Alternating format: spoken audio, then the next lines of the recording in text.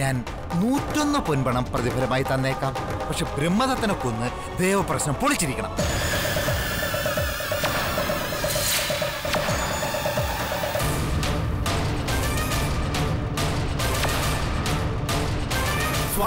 Sabarimala Swami Ayyappan.